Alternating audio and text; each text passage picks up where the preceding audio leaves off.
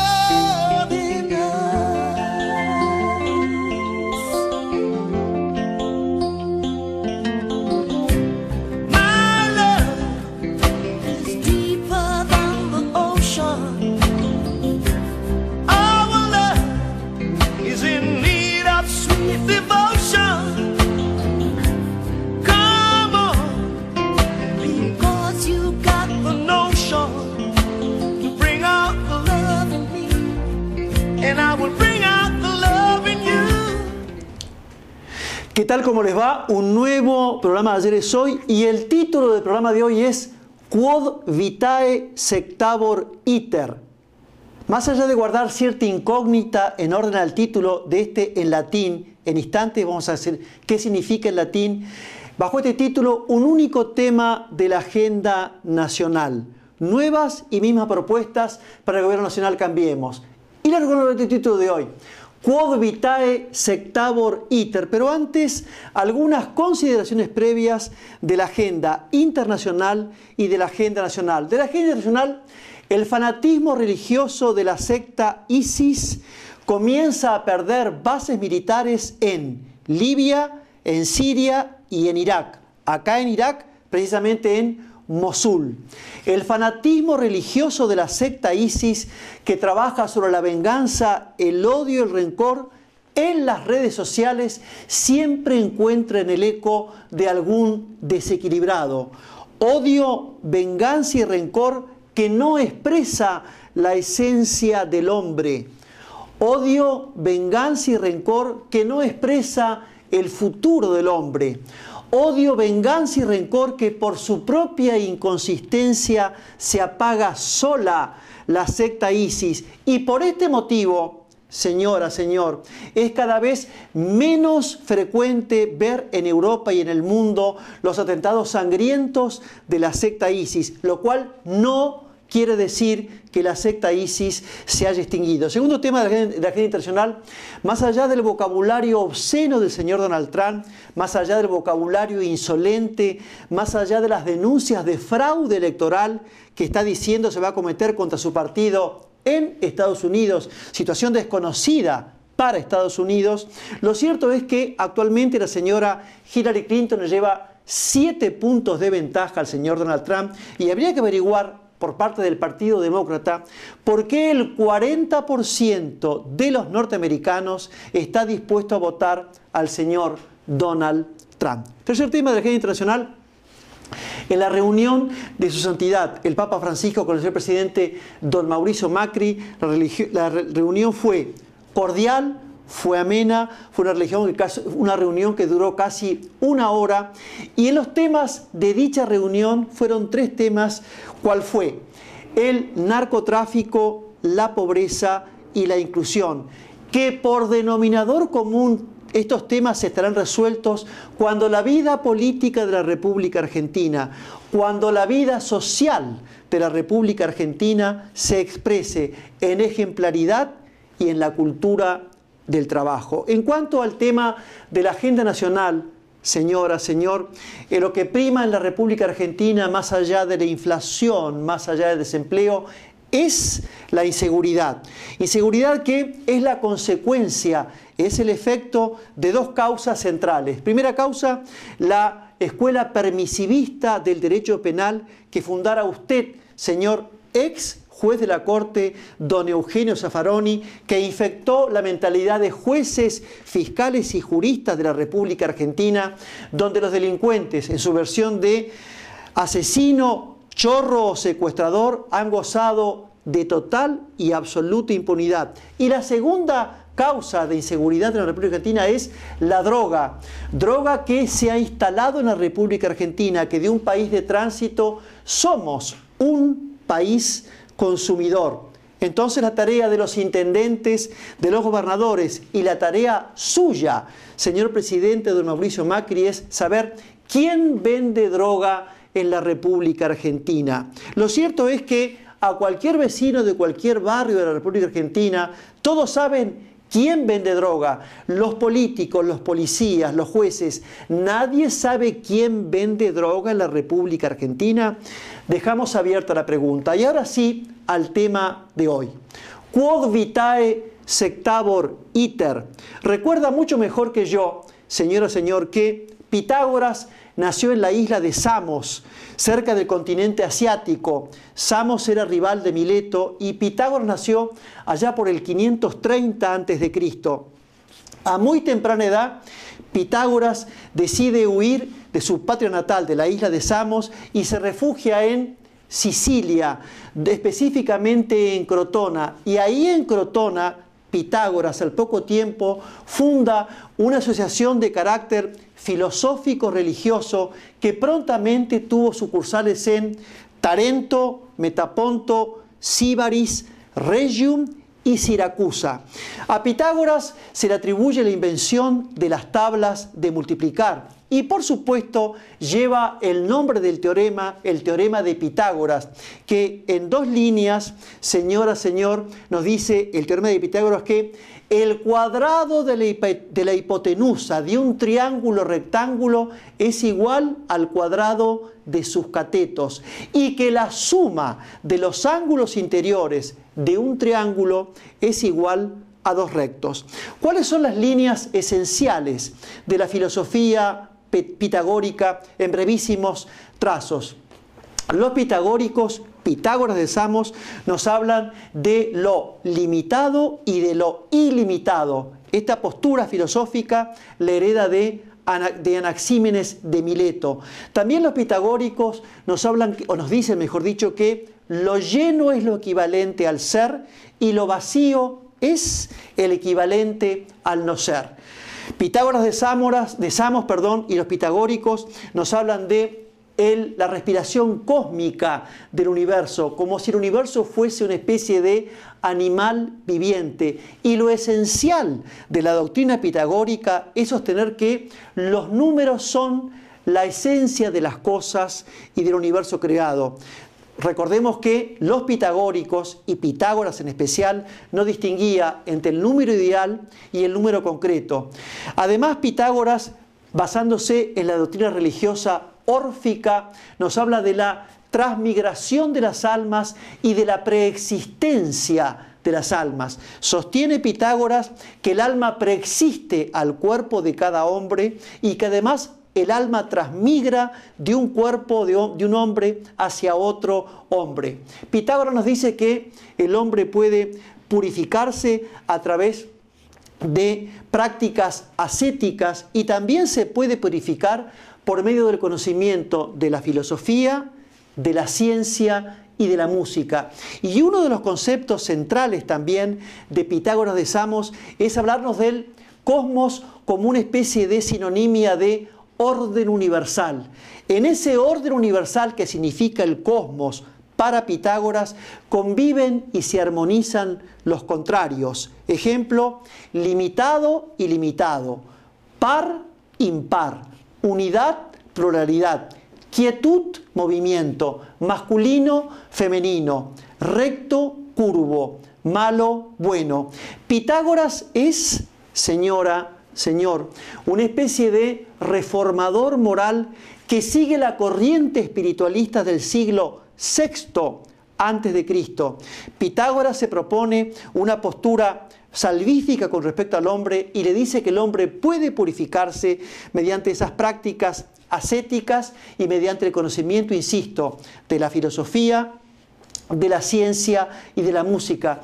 Pero lo cierto es, señora, señor, que cuando Pitágoras decide huir de su patria, de la isla de Samos, por la tiranía de Polícrates, lo cierto es que como cualquier hombre de bien, sintió el desarraigo, sintió la pérdida de identidad, sintió, y es obvio, y no decimos nada genial con esto, que estaba extrañando a su patria, la isla de Samos. Y entonces era doctrina corriente, era tradición corriente que los discípulos de Pitágoras de Samos nos enseñasen o nos dijeran, transmitido, insisto, a través de la tradición, que lo primero que escribió Pitágoras cuando huyó, huyó de la isla de Samos fue lo siguiente, quod vitae sectabor iter, que traducido de latín quiere decir, ¿qué camino, qué rumbo tomaré para mi vida? Quod vitae sectabor iter, qué camino, qué rumbo tomaré para mi vida. Y seguramente usted en su casa, señora, señor, estará pensando que tiene que ver el título del programa de hoy con la actualidad política argentina. Y la respuesta es tan sencilla como evidente y tan evidente como sencilla. Y en instantes vamos a compartirla con todos ustedes. Muchas gracias.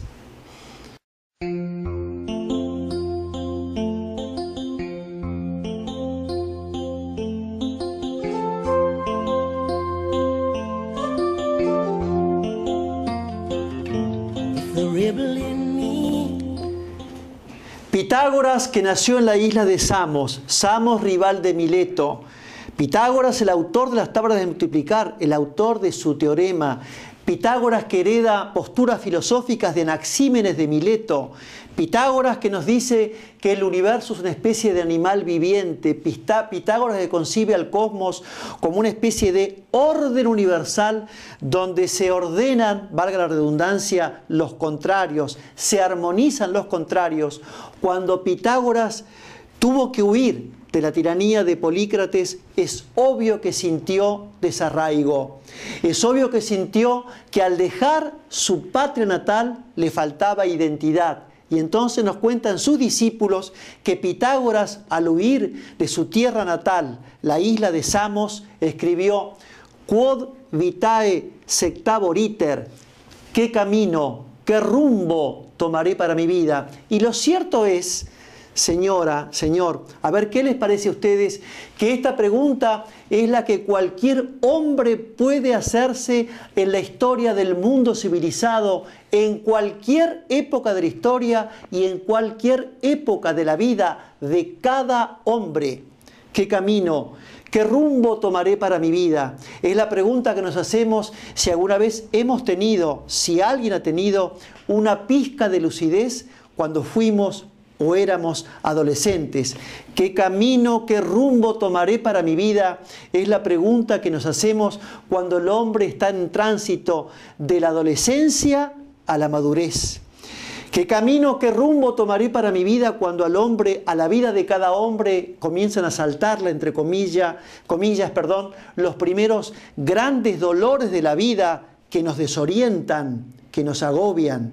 ¿Qué camino, qué rumbo tomaré para mi vida? Es la pregunta que nos hacemos cuando nos llega la primera derrota, esa que nos conmueve, esa que nos desorienta. ¿Qué camino, qué rumbo tomaré para mi vida? Es la pregunta que deberíamos hacernos cuando nos toca, entre comillas, el primer éxito, para no sentirnos soberbios, para no sentirnos únicos. Pero lo cierto es, señora, señor, que nos hacemos esta pregunta, ¿qué camino, qué rumbo tomo para mi vida cuando nos falta certeza? cuando nos falta seguridad. Porque bueno es recordar que certeza y seguridad, seguridad y certeza son anverso y reverso de una misma moneda que habita solamente en el alma del hombre. Certeza y seguridad es una moneda que habita solamente en el alma de cada hombre. Y entonces cuando empezamos a perder certeza y seguridad, seguridad y certeza, nos hacemos esa pregunta. Y bueno recordar, señora, señor, que la seguridad y la certeza, fíjese, usted qué especie de contradicción filosófica. Yo diría que es hasta una contradicción ontológica, metafísica. Seguridad y certeza son huidizas en la vida de cada hombre. No siempre encontramos en nuestras vidas, en la vida que nos toca vivir, a usted señora, a usted Señor, seguridad y certeza. Pero lo cierto es que la seguridad y la certeza se encuentra cuando conseguimos la confianza. Y hoy aquí en la República Argentina, de un tiempo a esta parte, somos insistentes en proponer esto. Lo único que debe proporcionar certeza y seguridad y confianza es la ejemplaridad y la cultura del trabajo. La ejemplaridad de padres a hijos, ejemplaridad de profesores a alumnos, ejemplaridad de funcionarios públicos a ciudadanos, llámese, intendente, gobernador, senador, diputado, juez o fiscal. Ejemplaridad, insisto, de padres a hijos, profesores alumnos, funcionarios públicos a ciudadanos. Y en orden a la cultura del trabajo, recordemos que el trabajo se articula con el capital y que el trabajo y el capital se armonizan, se le pone justicia, equidad y equilibrio por medio del Estado. Esta clara doctrina de la armonía de trabajo, capital y Estado fue magistralmente expuesta por Joaquín Vicente, señora, señor. Joaquín Vicente que es más conocido o fue más conocido por el Papa León XIII, conde de Pechi, Papa del año 1878 a 1903. Y durante este año, esta es la cuarta vez que recordamos que el conde de Pechi, Joaquín Vicente, León XIII, la misma y única persona, inicia con su doctrina de la encíclica de Rerum Novaro, Novarum, perdón, la doctrina de las encíclicas sociales de la Iglesia Católica Apostólica Romana.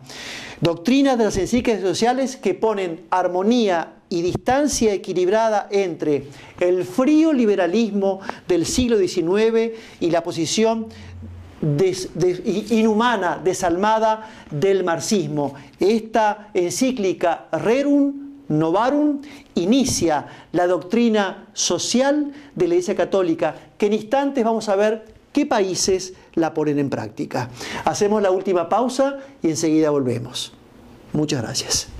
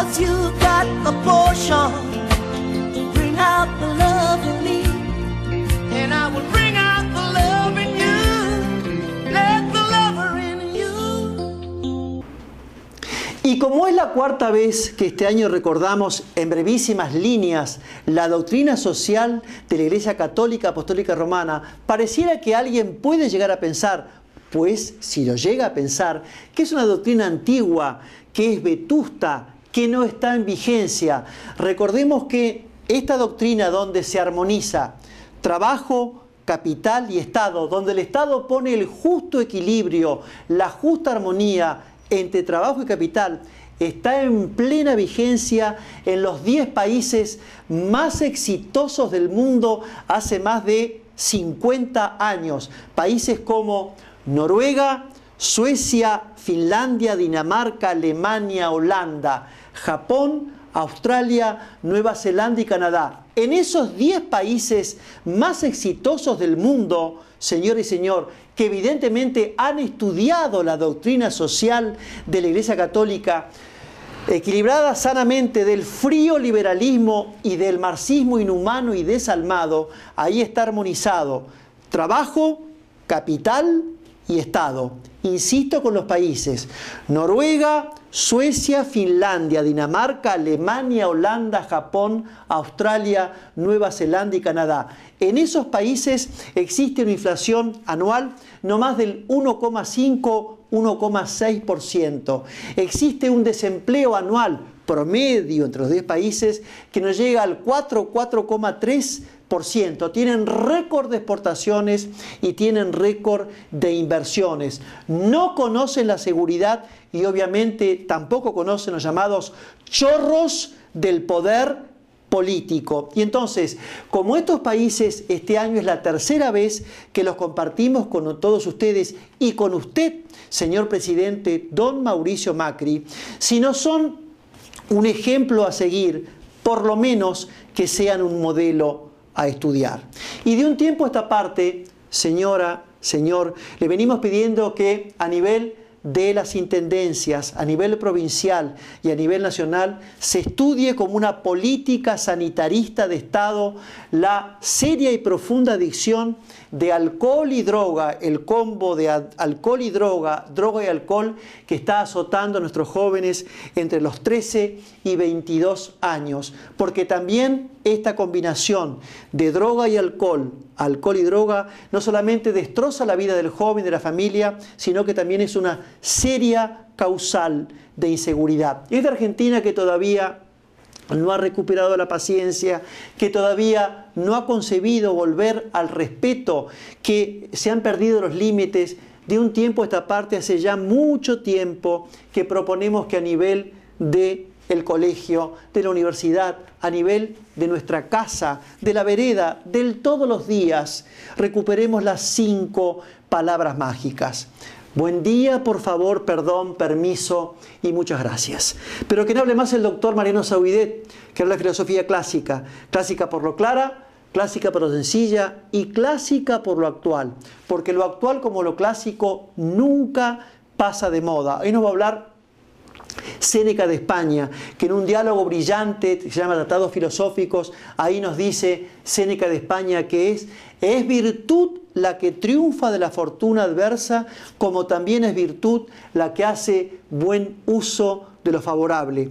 Y como a usted le gusta decir la verdad, señor presidente don Mauricio Macri. Y como este programa y su conductor no se siente dueño de la verdad, sino que nos sentimos esclavos de la verdad, bueno es recordar que la armonía, el justo equilibrio, la equidad entre trabajo, Estado y capital en orden al bien común de la persona y de la nación es el principio y es el fin de toda política. Hasta la próxima y muchas, pero muchísimas gracias.